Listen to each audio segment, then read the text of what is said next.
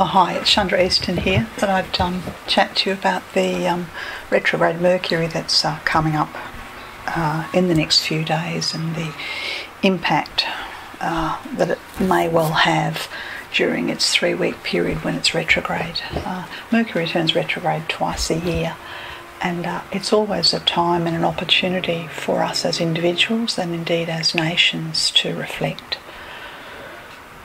Hmm, so I'll talk a little bit about this from an astrological perspective. As I said, my name's Chandra. I'm from starastrologyhealing.com. I'm going to look at a few of the um, nations of the world and uh, just reflect on um, the Mercury retrograde. But before I do that, I'll just talk broadly about um, the configurations that I see in the chart. So, one of the first things to notice is the sun's at the end of uh, Sagittarius uh, in technically what we refer to as a void of course position. Now, when um, any planet, but especially one of the luminaries like the sun, is void of course, you could say that it's a bit like we're betwixt and between. Uh, this three week period, it's like a ball's gone up in the air and it hasn't come down, and it's very difficult to predict where and in what way it will come down. There's an enormous amount of variability, um, and, and, positions can change quite dramatically. That can be individual positions, uh, national positions, global positions. That's just simply the void of course sun in the sort of uh, 29th degree of Sagittarius. Uh, yeah, now, the other thing to say about this Mercury retrograde is that, um, you know, it does happen twice a year, but this particular year, Mercury is conjunct Pluto. And, uh, well, Pluto is either to do with the misuse of power on a global level, um, or it's to do with the death throes of, of old societies and old ways of governing, or it can be the um, uh, crushing repression through bureaucratic and uh, government control of people. Uh, the none of those are positive. Uh, I suppose you could say that the positive that comes out of Mercury, Pluto in Capricorn conjunct, and they are combust actually, extremely close together, is that eventually those people who are prepared to look deeply will be able to see through um, lies, distortion, repression, coercion, um, power games uh, to, to the light supernal, which is um, from the inner spiritual realms. So, searching for truth beyond one's prejudices, beyond one's political um, affiliations, beyond uh, black and white scenarios. It's human nature to think that, um, in terms of blacks or whites, right or wrong, good or bad, uh, but in fact, there are so many variations within ourselves, within our loved ones, within our families, within the nations, within the global politic. So, seeing deeply beyond our own um, distortions and prejudices to what is, that's what Mercury is asking us to do. And, and so you could say we all need to have a really long, cold, hard look in the mirror and not deflect from the stark reality of what we see in our lives. Okay. The best that we can hope for with Mercury combust Pluto in the middle degrees, what's referred to as the cross quarters degrees, is that we have um, radical insights and we can move forward with radical change or radical forgiveness or radical authenticity. And I use the word radical because Mercury is being pulled by the square Uranus to sort of snap us out and wake us up out of um, helplessness, hopelessness, self denial, lying to ourselves, accepting the lies of others, um, feeling disempowered. You know, when Mercury and Pluto are together like this, then the Mercury is literally, it's like under the heel of, of those that hold power. And Uranus is asking us to rise up and to liberate ourselves. And there's all kinds of reasons why we give our power away. And sometimes it's because we're not able to look at ourselves clearly in the mirror. So if we want to change the world, we need to start with ourselves with a long, hard, cold look at what it is that we needs to change and snap out of it and wake up and get on with it and and reclaim our power. Okay, looking further at this chart, there are three planets in Pisces and the south nodes in Pisces. Mars is in Pisces as well as Chiron and Neptune. And uh, I suppose a good analogy for this is a bit like getting stuck in a swamp, and the more you struggle, the deeper you swim. So you could say that humanity is stuck in a swamp of its own making. We have created our own astral illusion. We have we've developed, we've created. The astral world would not exist if we didn't feed it with our emotionalism, with our fantasies, with our hopes, with our dreams, with our expectations, with our uh, unwillingness to see truth, with our emotional content. So you could say that we have created a swamp and we're all slowly drowning within it. Uh, that's the combination of these three planets in uh, Pisces conjunct the South Node. Now, in according to physical um, laws, if we come upon a person um, sinking in a swamp, we shouldn't jump in with them. We need to stand on solid ground and then throw them a lifeline. And so Mercury in Capricorn is asking us to stand on the solid ground of the truth of the fact that we are we are one and that division and separation uh, is not a real it's not real on the on the inner levels uh, we are one humanity and it's up to us to realize this truth and begin to act in that way would be no point jumping in uh, to the quagmire with the person who's sinking it would certainly be no point walking away and averting our eyes and pretending that we're not aware that someone's sinking but we need to marshal help. We need to marshal lifelines and bridges and um, the light of hope and courage and uh, truth and to get out of our own way. That's the only way that we will uh, be able to, if you like, rescue ourselves and rescue our brothers and sisters, rescue humanity.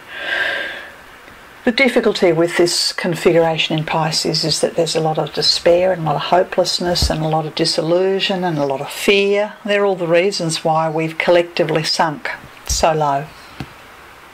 Uh, the goal and the, the way forward uh, is, is through the North Node in Virgo, and the North Node's in the sixth degree of Virgo, and well, this is about um, small acts of kindness, and if we want to change the world, we have to change ourselves and our immediate environment and our habits and what we eat and how we spend our money on what we spend our money on and and uh, our well-being one person and one step at a time.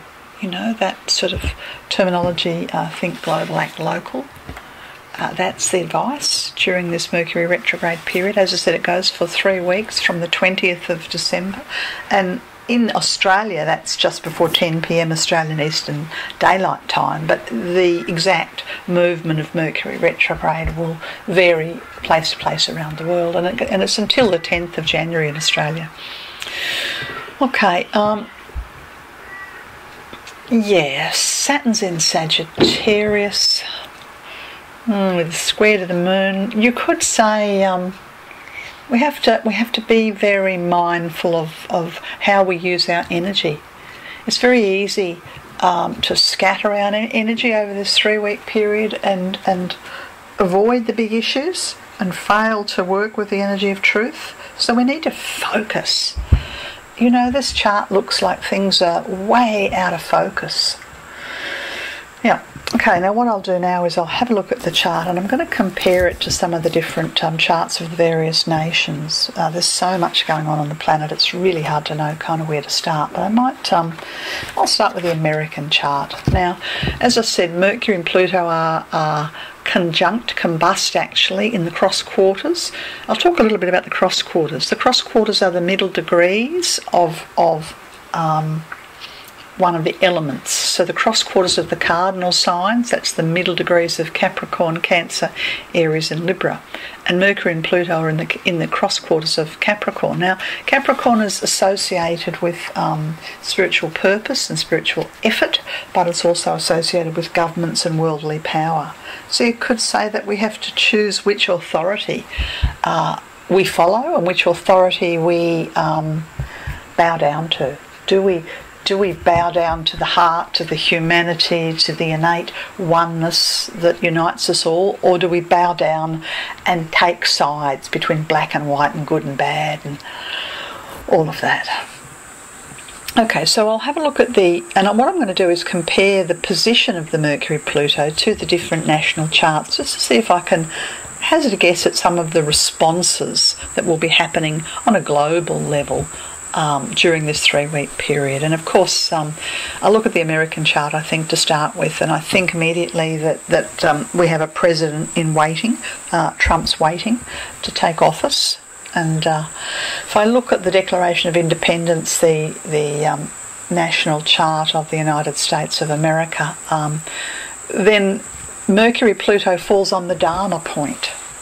Okay, uh, so the Dharma point is directly opposite the Sun. The American chart, the Sun's in the 13th degree of Cancer, and the Dharma point is therefore in the 13th degree of Capricorn.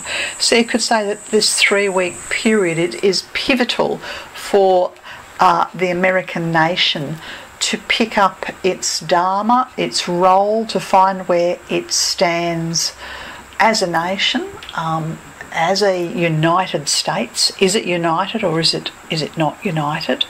Uh, does it uphold the the principles of the Declaration of Independence, and also where does it stand in the world arena?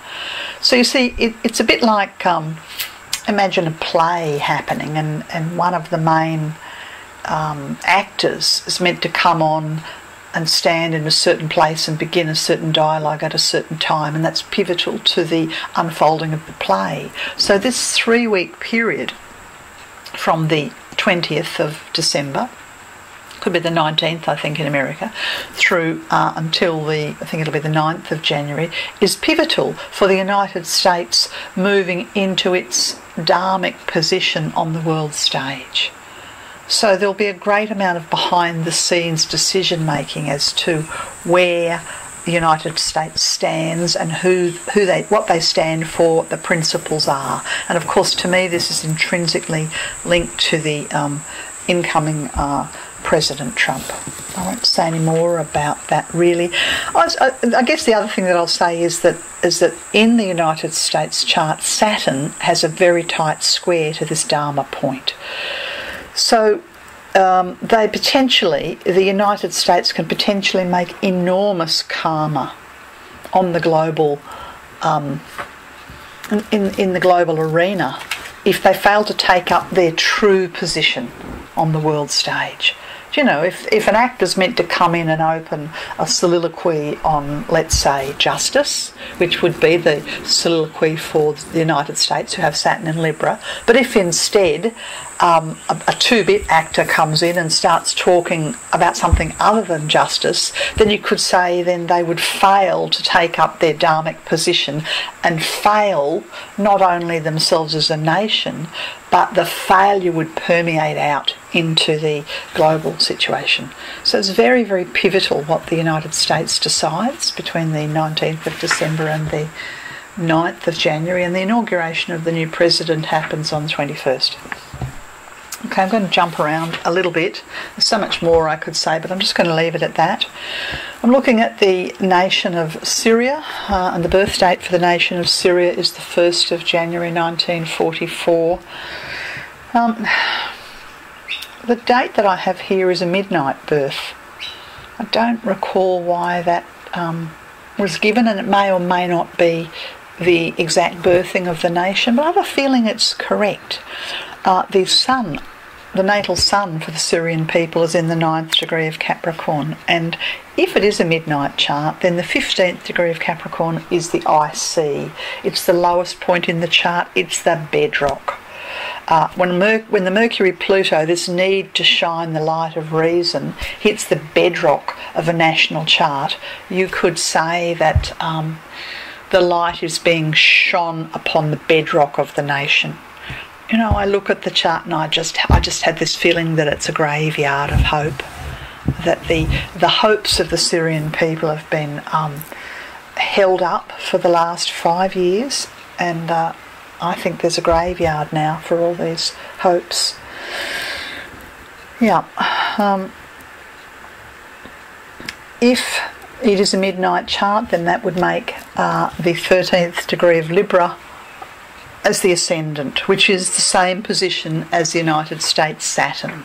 So there's a link here between the karma of the American people and the American nation and the emerging, emerging destiny of the Syrian people and the Syrian nation. Uh, Mercury Pluto square this Libra ascendant, it's it's unlikely that justice. Um, it's far too late, it seems, for justice for the Syrian people. We have a graveyard of hope. Yeah, I'll continue looking very briefly at the different charts. I thought I'd have a look at the Chinese chart. We have. Um, China in the news a lot lately, mainly with its expansion into the South China Sea and it's literally building islands for territorial position. Uh, the birth of the People's Republic of China, the natal chart, is the 1st of October 1949. It's cast for three, two minutes, almost two minutes past three in the afternoon in Beijing.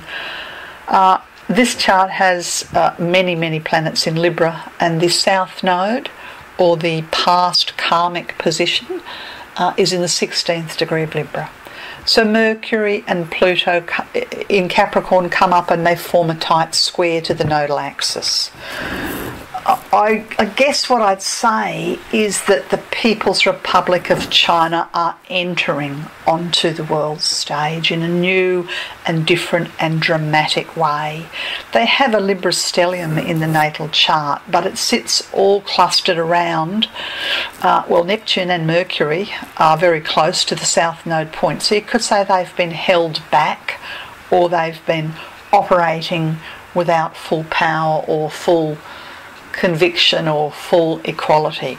Now, the Mercury Pluto, the best one could hope for is an opportunity for the liberalisation and the, the arising of uh, individual uh, rights of freedom of speech. Uh, what we're liable to see, I would say, is is is fairly aggressive, um, more expansionist policy where uh, China takes up effectively more of its space on the world on the stage of the world arena. So we may have a um, let's let's call it a, a puppet president or a populist president coming in, uh, failing to make his speech and and make decisions or policies based on justice. Meanwhile, we have the Chinese um, chart coming to the foreground um, and you could say flexing its um, its muscles in its neighbourhood. And I say in its neighbourhood because the North Node in Aries sits on the third house cusp. So, whatever China considers to be its neighbourhood, you know, that could be Australia, this could be some of the South Pacific Islands, it clearly uh, could be some of the. Um, uh, territory that it's currently claiming South China. What do we know? It's hard to say what China considers to be its neighbourhood, but expect this to be expanded. Um, the other thing to say about the relationship between the Mercury retrograde and the Chinese chart is that in the Chinese chart, Mars and Pluto sit in very close conjunction in Leo. So they are, are a power and an authority and fairly not negotiable um, autocratic first ray energy comes up through this. And this first ray energy is, is being um, tested uh, by the Mercury Pluto. So there may well be uh, more people wanting more freedom of speech and more democracy, and the issue of Taiwan, all kinds of issues where the people want some of their power back and the people shine the light of truth out. Interesting to see what happens in China in that three week period. I'll jump across to look at. Um, hmm, where did I have it? I've got a chart somewhere. Let me find it for Russia. And I've cast this. There's a bit of astrologers disagree a little bit, or they debate a little bit on uh, which chart to use for Russia. I've decided to use what's referred to as the Minsk Agreement, and this is for the 8th of December. Is that the right one? Yeah, the 8th of December 1991. Uh, and this is when the flag was lowered um, and the uh, effective um, unravelling of the USSR occurred. A very interesting chart. There are four planets in Sagittarius and four planets in Capricorn, what we refer to as a double stellium. You know, this is this is a nation not to be messed with. This is a nation of great um, let's say, uh, will, determination, uh, uh, domination, expansionism, and a Leo rising. Yes. So if I take the Minsk agreement and I uh, compare the Mercury retrograde in Capricorn, it falls right on top of the Moon and Neptune, which are also in Capricorn in this national chart.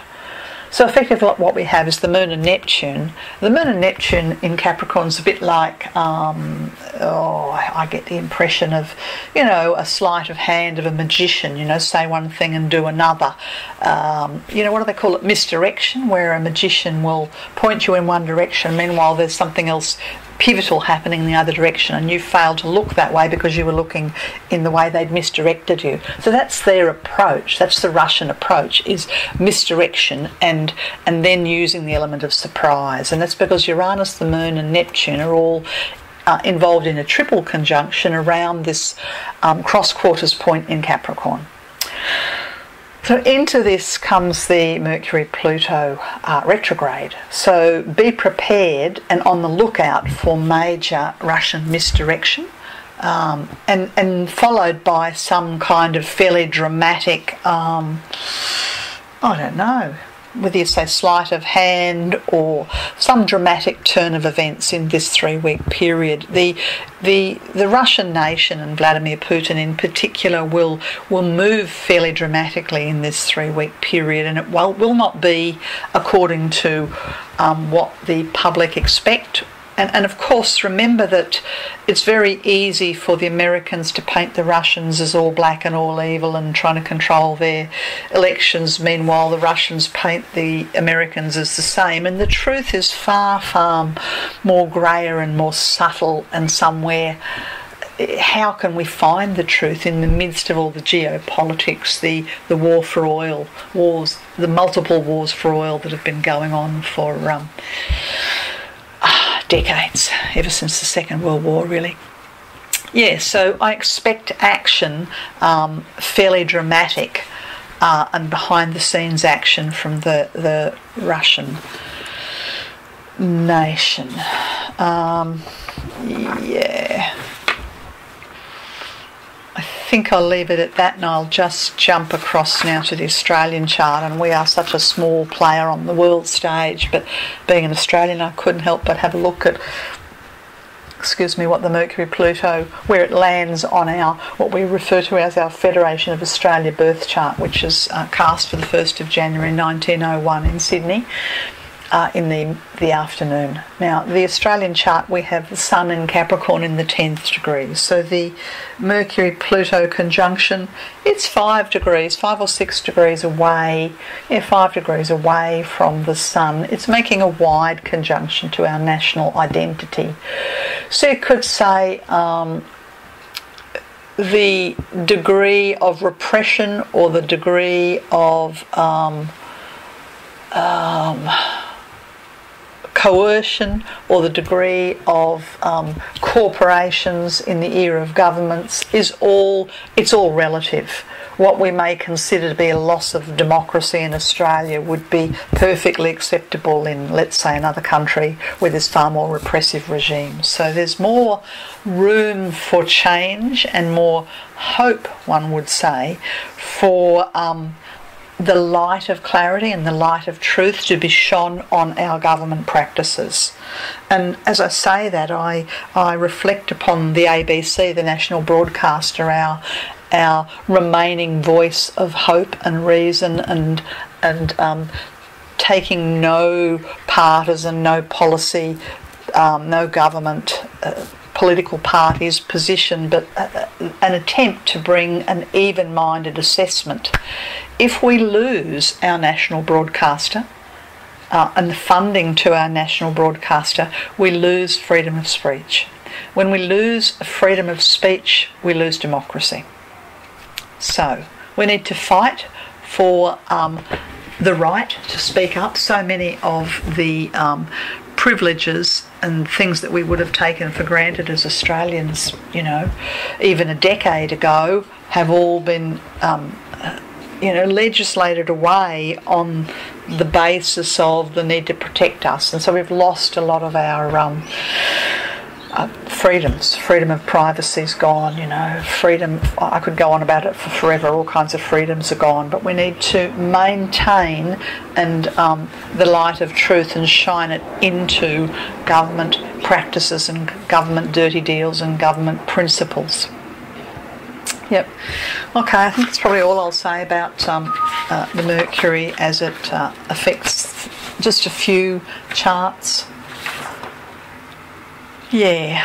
Um, on an on an individual level and on a personal, yeah, just on a personal level, trying to sort of deal with the Mercury retrograde, it really depends on where it falls in your chart. If you have any planets in the middle degrees of Cancer, Capricorn, Aries, or Libra, then you won't be able to avoid this need for facing up to yourself, telling it how it is, looking oneself in the mirror, taking the action that's necessary, examining oneself in the cold light of truth.